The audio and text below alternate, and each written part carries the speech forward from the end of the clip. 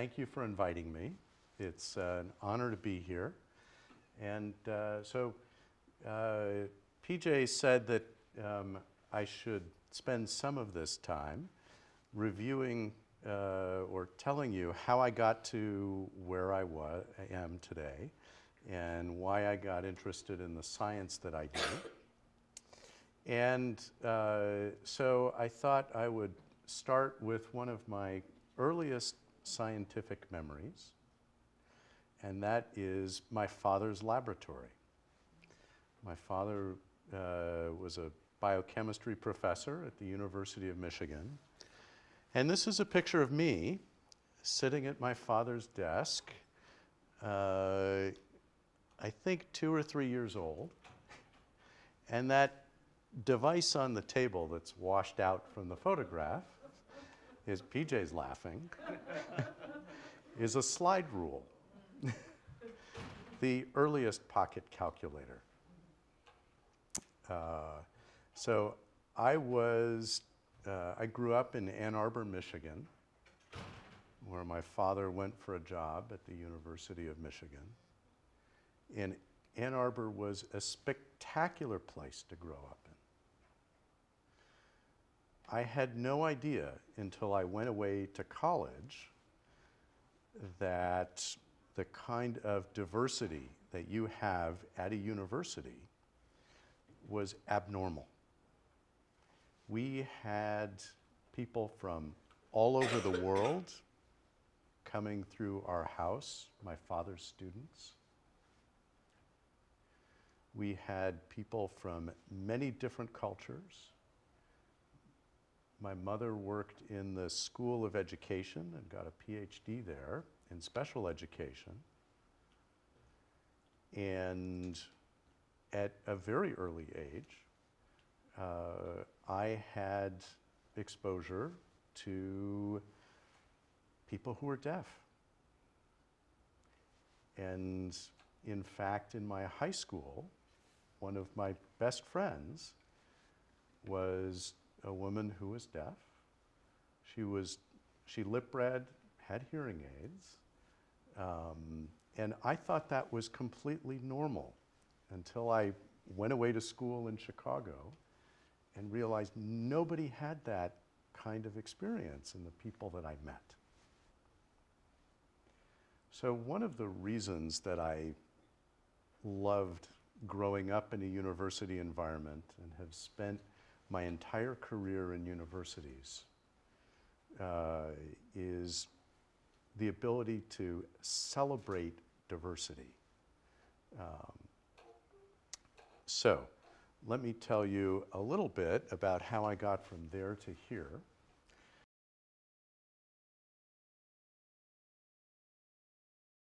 Growing up in a university environment, uh, I was, of course, very interested in uh, new and shiny things. And one of the newest and shiniest things was, were computers. Now, I am ancient enough that I learned how to program a computer on punch cards. so you had to sit down and type out every single card and the cards were in a stack. And of course, because I was a university brat, I could use my father's university computer account. So when I was 13 years old, I started learning how to program a computer. And these are the first two computers as devices that I learned how to program aside from the big university computer. And uh, so that was a computer that was on a single board. And the Altair was the first home computer. These buttons right here, they're switches. Before you could do anything with the computer, you had to flip the switches and then flip a single switch, one at a time, to put the computer program that allowed you to use a keyboard into the computer. So part of what I grew up with was using computers from a very early age, and of course, my interest in science from being around my father's laboratory. My brother and I spent lots of time in my father's laboratory. My father was a chemist, so occasionally it would get very exciting when one of his colleagues had a chemical reaction that went bad and exploded in the laboratory next door. Really exploded.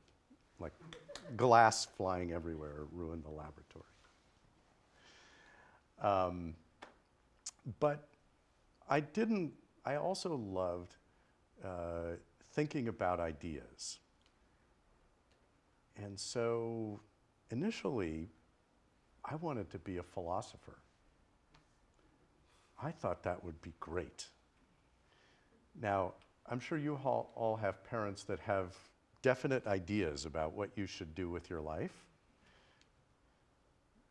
It turns out my father's idea from when I was that three year old was that I should go to medical school. And when I informed him when I was 17 and starting to look at colleges that I wanted to be a philosophy major, he said, There are minus two jobs a year in philosophy.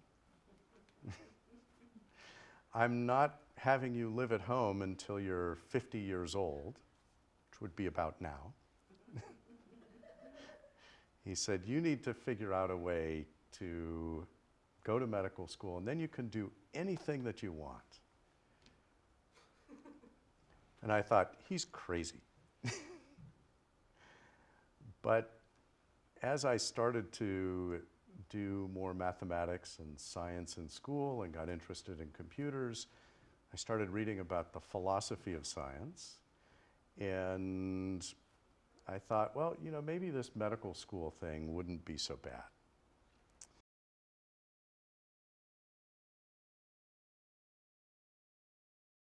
One day I was looking through Gray's Anatomy, not the TV show, the actual book. and I saw this picture, which is the cross section of a bone a femur. And look at how the bone arches and is woven together. And I thought that that was one of the most beautiful things I'd ever seen. Now, of course, I was kind of an odd kid. You know, you're in high school and you see this, and uh, you think, wow, that's really beautiful. But I wanted to know how that happened. How did you get those patterns in bone? So I decided that if I was going to go to uh, medical school or do something medical, you know, my father was have to go to medical school, have to go to medical school. I thought I would study mechanical engineering because I liked math, I liked working with computers, and I would study biomechanics and maybe I could do orthopedics.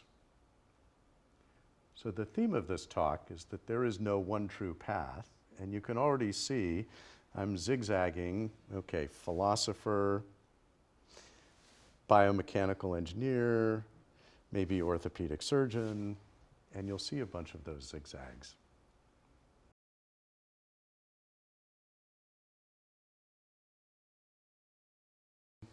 In high school, I actually got involved in the science fair. And it's now called, I think, the Intel Science Fair.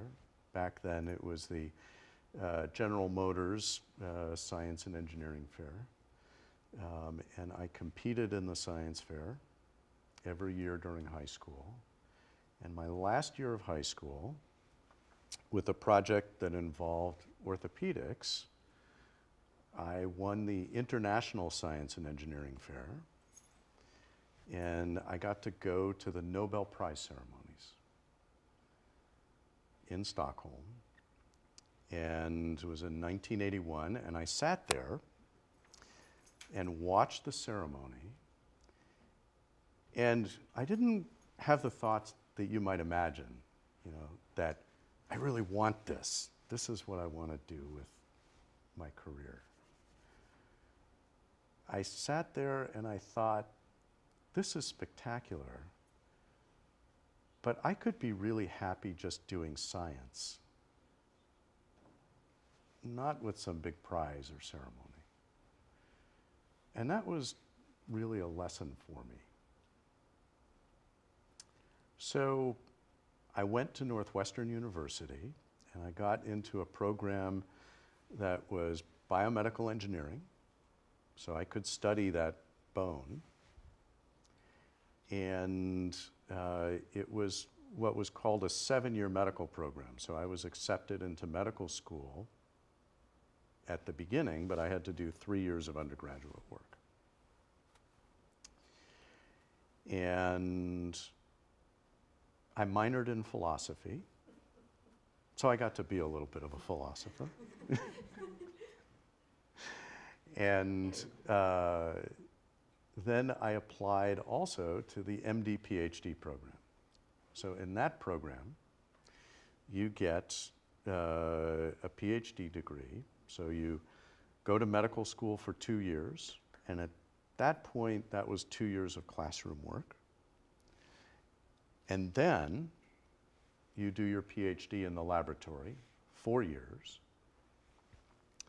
And then you go back to medical school for two years and do your clinical rotations. So already it was going to be 11 years of training at Northwestern. So I was accepted into the MD PhD program. And I thought, okay, I'm going to be an orthopedic surgeon. I have my degree in biomechanics. I had already published a paper in orthopedics. And I went to a lecture my freshman year in medical school by one of the professors there who studied how cells move with time lapse photography. And Gunther was one of the brightest and most cultured people I had ever met. He was trained as a physicist. He was German. And when he spoke of science, he spoke of poetry and beauty and mathematics and looking for the truth. And I was young and idealistic, and I really liked that. so now he studied how cells moved, and I thought, you know what, I don't, I don't care that this doesn't have very much to do with orthopedics. I want to learn from this person. And for me, that was one of the most important lessons of my career was don't be rigid.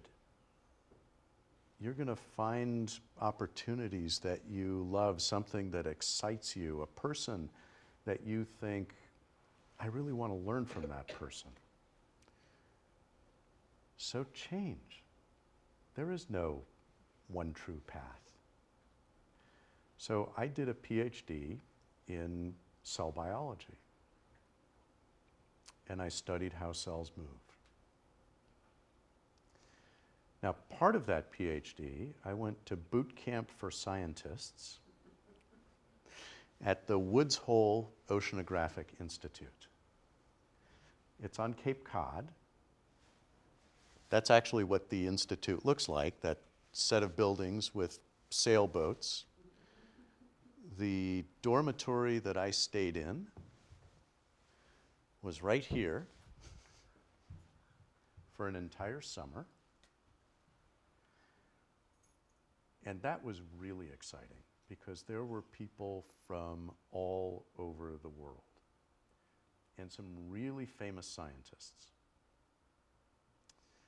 Uh, I met Jim Watson of Watson and Crick. Um, and I met um, the son of Albert Szent-Györgyi. So this is the uh, saying that was above the entrance to the library at Woods Hole.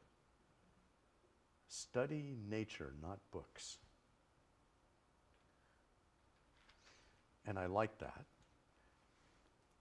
Albert Szent-Györgyi discovered how muscles work and the proteins in muscles. And he had a house that was out on the point that looked over Cape Cod, and all the students would, in the summer course, would go at night and invade his private beach and swim in the ocean. Uh, and he would chase the students off his property with a shotgun.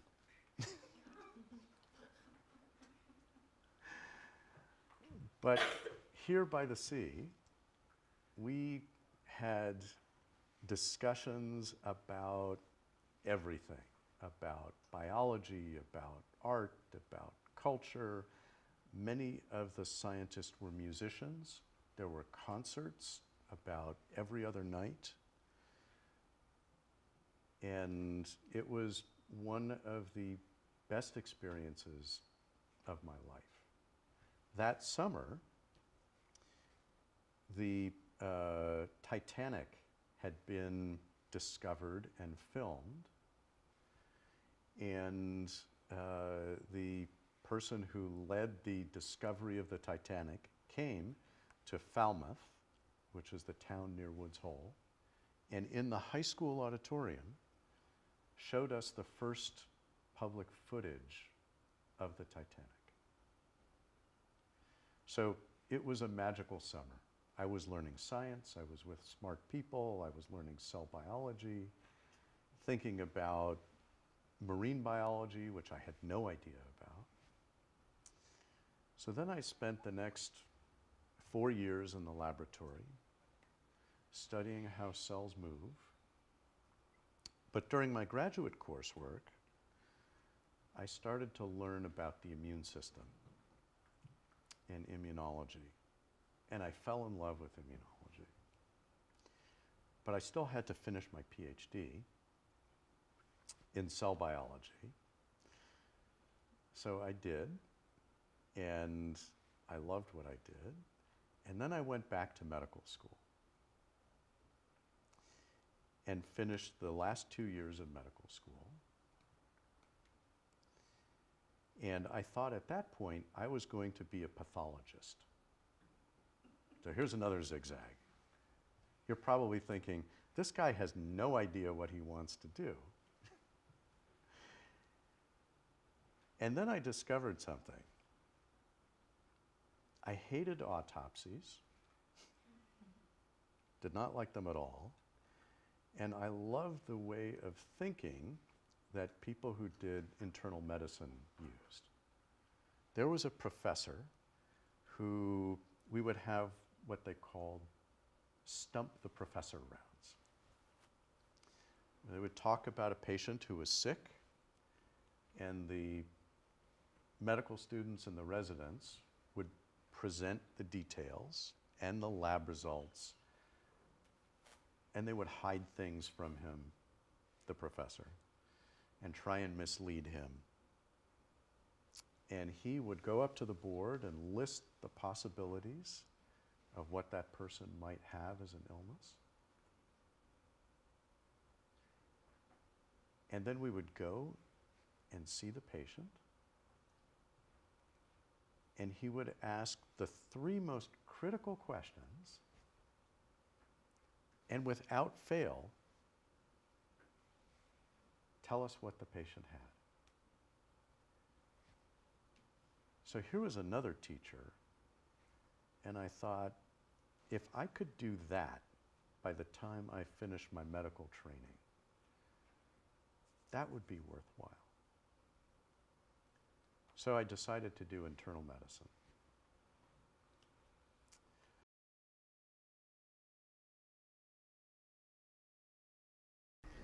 And that started my medical career. So these are the ID cards from all the medical centers that I had worked at. So there's one from the University of Michigan. That's me at 18 when I was still doing uh, one summer orthopedic research and programming computers to reconstruct x-rays of bone so you could see that pattern of bone that I showed you. It's my identification card from Northwestern. So then for my medical training, I went to Beth Israel Hospital in Boston. And I trained in internal medicine. And got to be surrounded by people who not only were doing medicine, but doing research.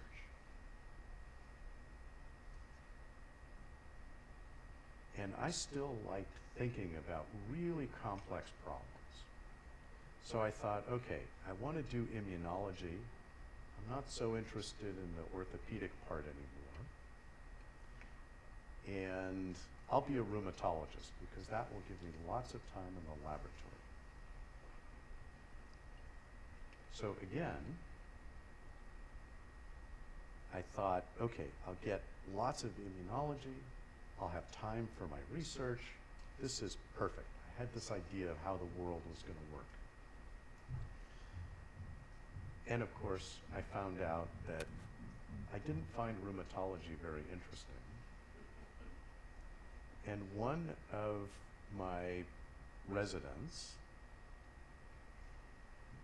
said, you should become a transplant nephrologist, a kidney doctor. I love the intensive care unit because you got to think about really sick people with really complicated problems. And he said, you get to take care of those people and you get to do all this fancy immunology that's associated with kidney transplants. So I stopped interviewing for rheumatology training and went to talk to the director of the nephrology program, the kidney training program. And they offered me a spot with the ability to spend two years in the laboratory. And that's how I ended up as a transplant immunologist. I've taken care of people with kidney transplants for um, 18 years at Rochester. I came to Rochester after a year in Boston, after I finished all my training, uh, including all the training from college through when I finished my medical training. It was 17 years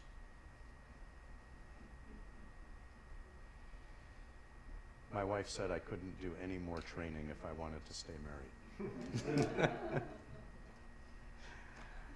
so I came here, and uh, I was fortunate enough to have a grant from the National Institute of Health that allowed me to uh, begin my own laboratory and to study how cells in the immune system attack kidney transplants and also then respond in various ways to infections and vaccinations.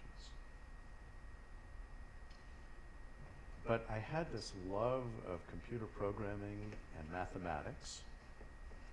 And so part of what my laboratory does is not only to do the experiments that look at these things and ask these questions,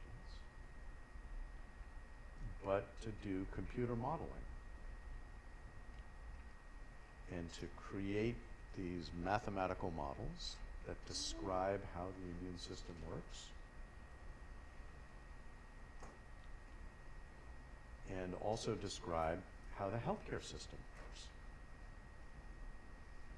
it turns out the mathematics are the same. So now I'm going to show you a little bit of the work I do in the laboratory.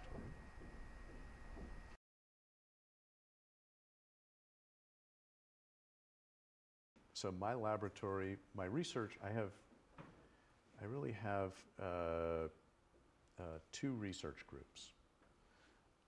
One of them studies immune responses to vaccination. So we do these complicated studies where we ask, how do people respond to the flu vaccine? Right? How many people here got the flu vaccine this year? Ooh, pretty good. A lot of people who didn't get it. Next year, when we do a study, if you still haven't gotten the flu vaccine, you can come and participate in our study. We love people who, uh, the people in my laboratory call flu vaccine virgins. Never had a flu vaccine. So, we vaccinate people, and then we take blood for 11 days, every single day, small amount of blood, and we study how the immune cells react to the vaccine. We study the gene expression in those immune cells and we study the pattern of responses in the antibodies, the proteins that protect you against the flu virus. And then we do the same studies in mice. So I'll show you a couple of the types of experiments and the types of data that we generate in the lab.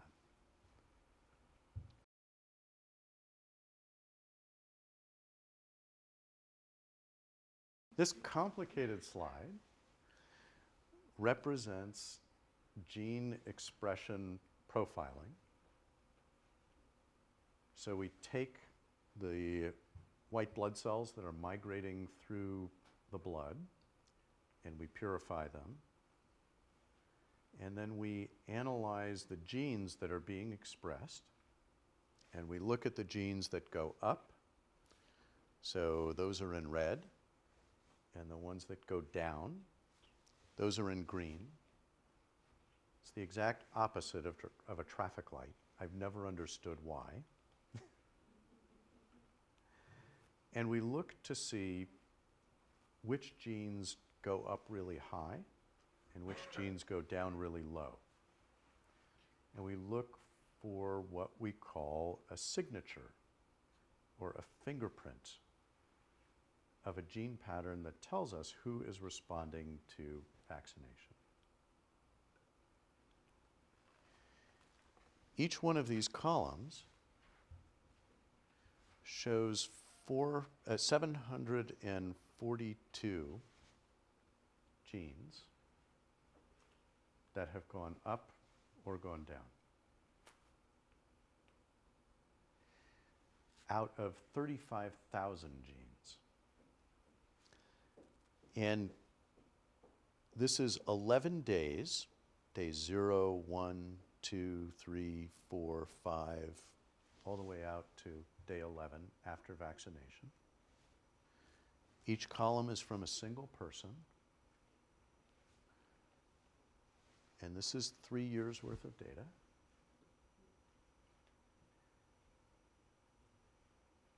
And I have an army of people that are spectacular technicians and all but one of them over the years trained here. So you guys are getting some of the best education that will make you highly marketable in your careers. And one of my technicians, you, some of you may know, Val Sapola, is deaf. And she is one of the best technicians I have ever had. And I hired her not because she was deaf, but because she was good.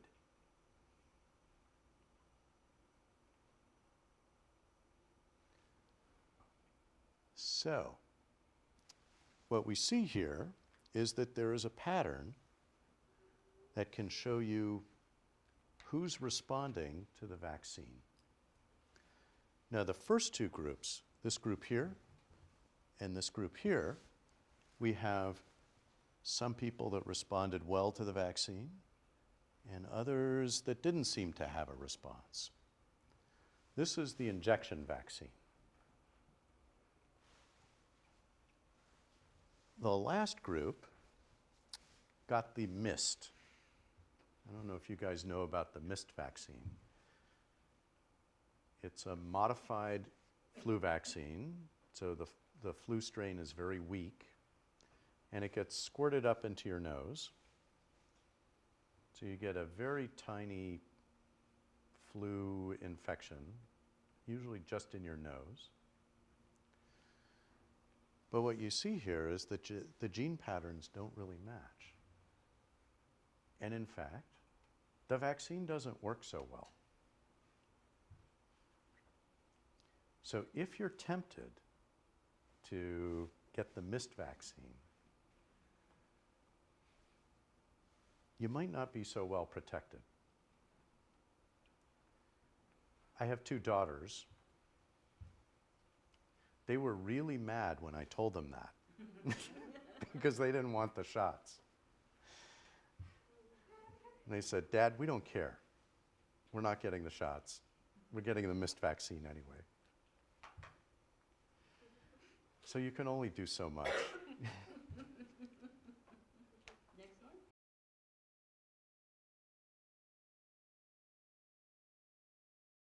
the things that we look for are patterns in the way the genes are expressed. So, of course, each one of these lines here is a single gene over 11 days that's going up or going down. And now we start to use mathematics to group those genes. So if you think you can study biology without using mathematical tools or informatics tools, um, think again, because this is really where the fun is happening. So those patterns of lines show you different groups of genes that change at the same time and that help the cells respond to vaccination. And these are in B cells, the cells that make the protective antibodies.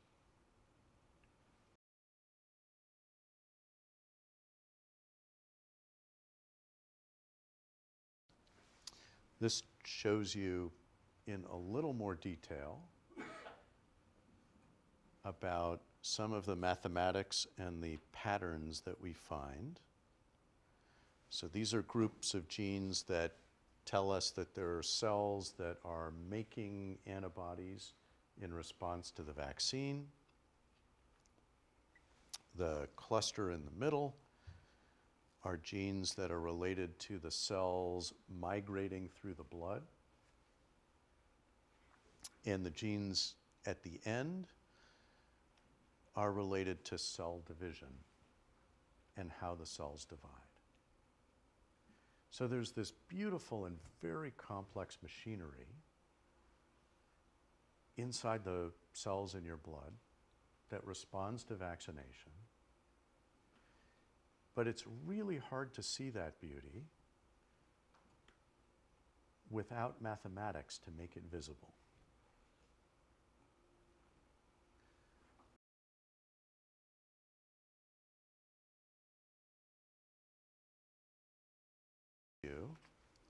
different patterns of gene expression in the lung of, uh, or the lungs of mice that have been infected with the flu. mice that get infected with the flu are as miserable as people who get infected with the flu. they sneeze, these pitiful little sneezes. they lie around in the cage, they lose some weight, and then they recover.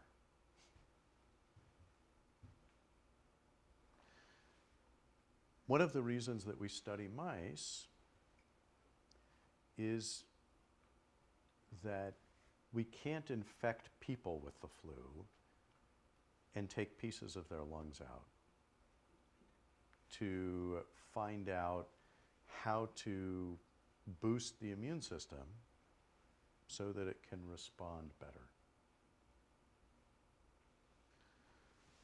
Once we have those patterns of genes, we can build, this looks like Facebook, right? You can call it GeneBook. It's a social network of genes that go up or go down and how they're mathematically connected to each other. We use large databases of what proteins interact with each other, proteins that the genes make, what genes are known to interact with each other, and then we use mathematics to construct that diagram. And that diagram allows us to identify where genes in different parts of the same pathway, in this case, genes that are associated with interferon. Interferon is uh, what's called a cytokine. It's like a um, help signal that the body sends out to the immune system to help fight lots of viral infections. So using this network, we can then identify genes that if we suppress them or boost them, will help the immune system fight the flu infection much faster.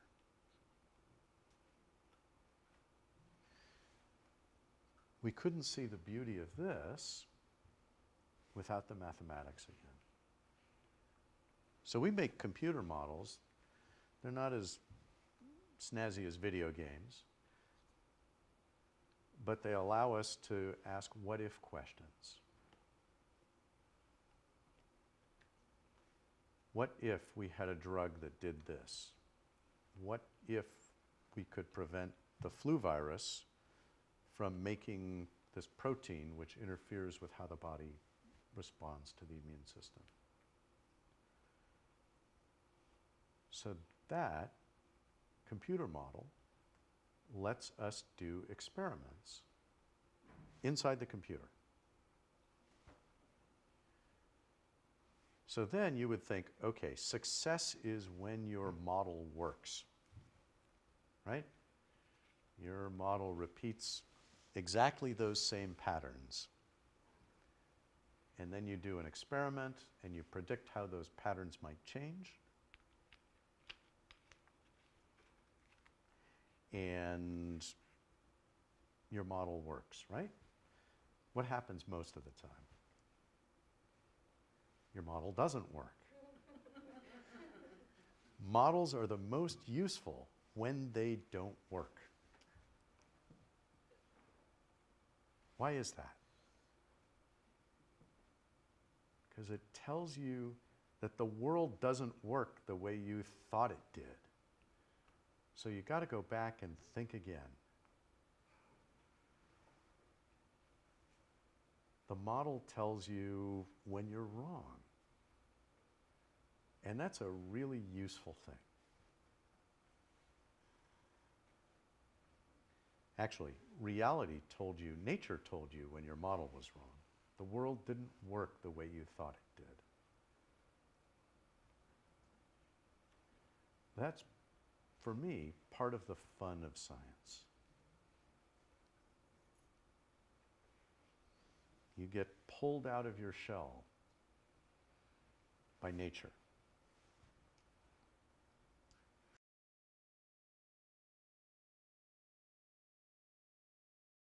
We're also interested in the cells and how they divide and how they respond to the flu. So this is a flow chart that we turn into differential equations or we simulate each and every little cell and how they divide and how they combine to make an immune response.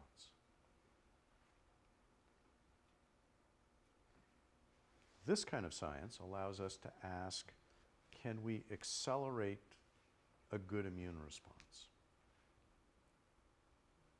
And how much would we need to accelerate it? So, this is multi level modeling. Now, we do the experiments in the laboratory to gather the data. We label the cells. Next slide, PJ.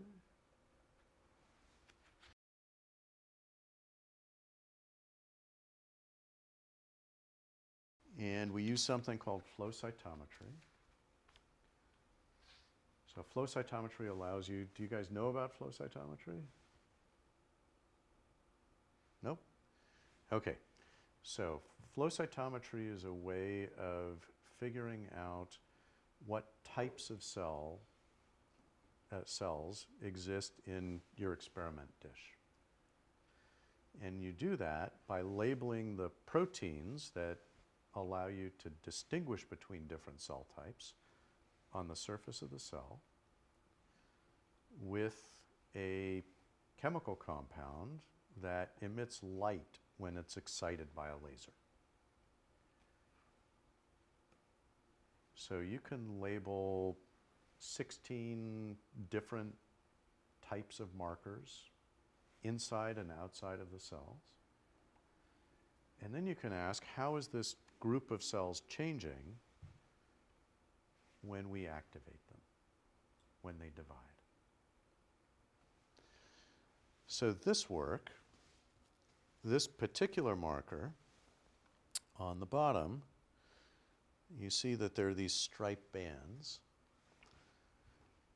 It's a dye that's taken up by the cells, and every time a cell divides in two, the amount of dye gets split equally between the daughter cells. So each one of these stripes represents a cell division. So we can see in these pictures eight or nine cell divisions. And then we can analyze the genes at each of the cell divisions by sorting the cells and we can look at the patterns of how the cells change.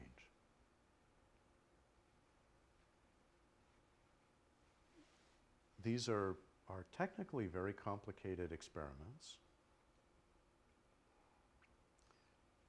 And the expert in my laboratory is Val.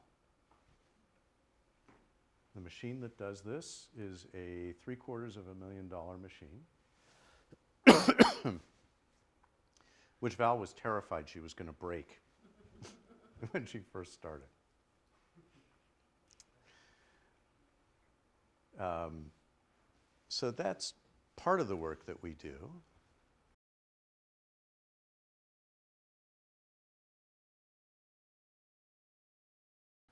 So I told you I work on flu vaccine.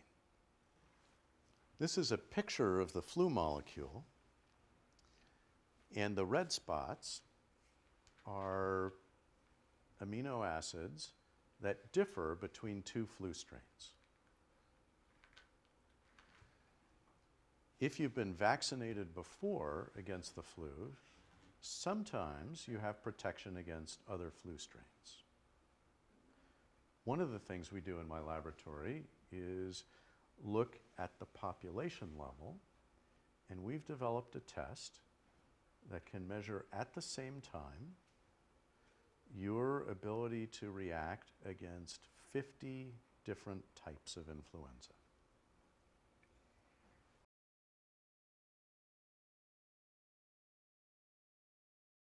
So this shows you what happens when uh, a mouse has been vaccinated. The different colors on the labels represent different groups of influenza strains. And this mouse was vaccinated, first infected with the flu and recovered. So that's day minus 30, and you see they don't react against anything. And then day zero, they were infected with this type of flu. And this scale, the, the redder the uh, box, uh, the higher the level of protection, the antibody level that the mouse made. And you can see not only is it protected against the um, strain it was infected against, but this is the strain that we vaccinated it against, which was related. That picture that I showed you showed the relationship between the two strains. And you can see it's protected against both, but after the vaccine, the mouse has protection against the entire class of those viruses. We can now use this method, next slide, to ask how people's reactivity against the flu changes when they're able to react against 17, 40, 50 different strains of flu.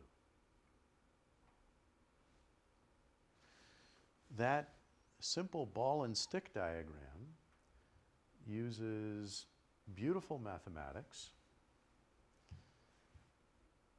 to plot in two dimensions where somebody started with a vaccine in terms of their reactivity and where they ended. And just like we clustered or grouped those gene expression patterns, we can group the patterns of how people respond to influenza and how they're protected.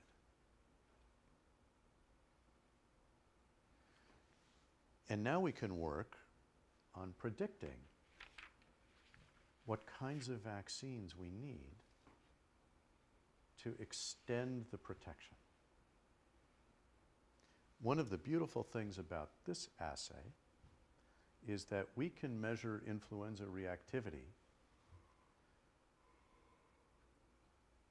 for 300 people a day. So, one of the projects that we're starting in the lab is looking at 3,000 people, all different areas of the city and asking how are they protected against influenza.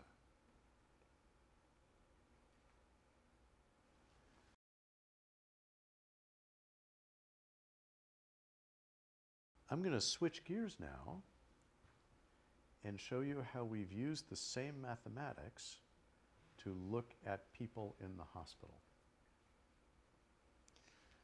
So you've seen networks and graphs.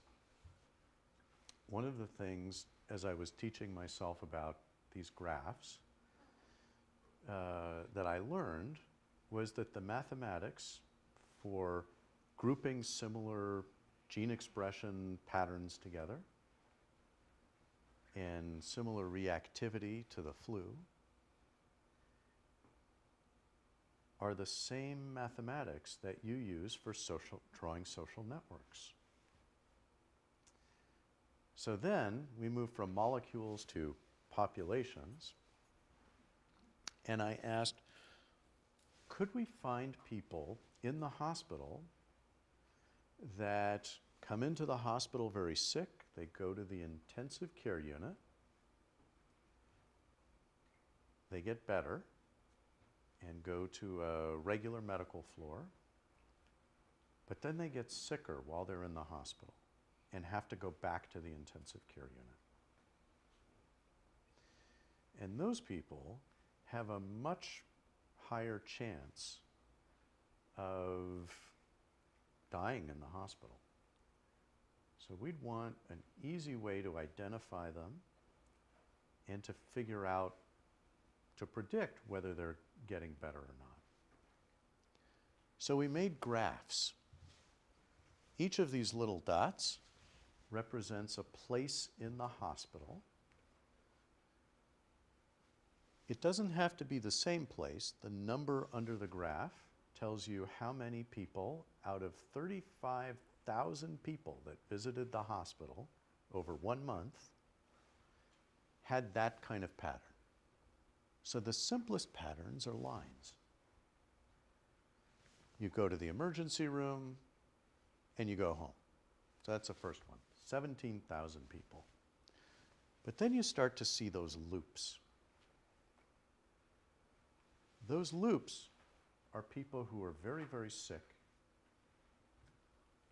95% of them went to the intensive care unit, and then they left, and then they went back. This uses the same mathematics that we use to group gene expression. But we're doing this for a whole hospital.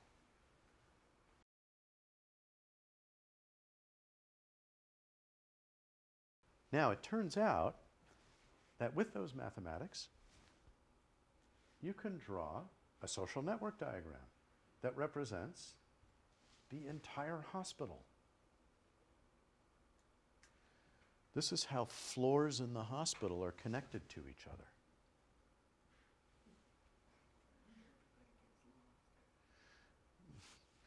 It is a little confusing. But of course, we have mathematics to sort out that confusion. So, one of the things that we can do with this kind of mathematics is we can look at how people move through the hospital, where they go when they're in the hospital, and we can predict what happens to the hospital when there are uh, epidemics or infections that are going between units. Right? People get sick in the hospital sometimes. And it's the same beautiful mathematics that we used to generate those gene expression networks.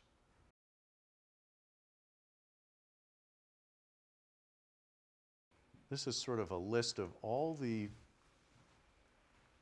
paths and things that I thought I wanted to be and that I've had the privilege of doing. And I did stay within sort of science and medicine, except for the philosophy part. but I even did philosophy of science Yes. and philosophy of medicine. I did medical ethics for a while. So I guess part of what I want to tell all of you is don't be so bound by what you think you want to do. Be open to zigging and zagging. And really find something that you're really interested in. You really want to know how something works. That something may change. I started out with bone and ended up with whole hospitals. But I feel very fortunate because I've gotten to do what I love through way too many years now. I won't tell you how many years it was since I was sitting where you guys are.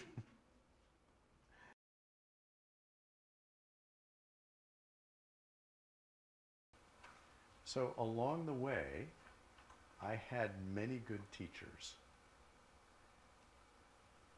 So that's my the second thing is that when you find a good teacher, somebody you can learn from, no matter how old or young they are, be open to the possibility that they can teach you something. And also say thank you. You know, all of us are very fortunate. We have gotten to choose parts of our path.